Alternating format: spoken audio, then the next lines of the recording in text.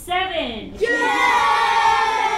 Adding up the fun, Red Cedar Elementary School is celebrating World Maths Day by hosting Fox's Figure It Out. Students in every grade level are taking part in several challenging math activities and competitions. I think this is a way to get kids excited about math, doing a like a healthy competition, gets them pumped up and excited. And I have such a passion for math, so numeracy is really important to me. I think it's really a way to help kids figure out the world around them, you know, and figure out how it works. Students are also showing off their love for math by wearing cloth headbands they designed. If you don't do math in life, you don't have a good life. Math rocks! For this competition, students are earning tokens as their time solving problems. The students are excited to be showing off their math skills. I really like the challenges in math and and algebra and geometry and stuff. Math is very fun cuz like adding, multiplication and like fractions, they're just fun. I like that there's like different subjects that fall under math, like fractions, multiplying, adding, division,